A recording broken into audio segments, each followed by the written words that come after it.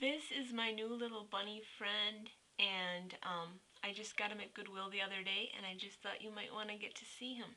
Look at his cute little shoes.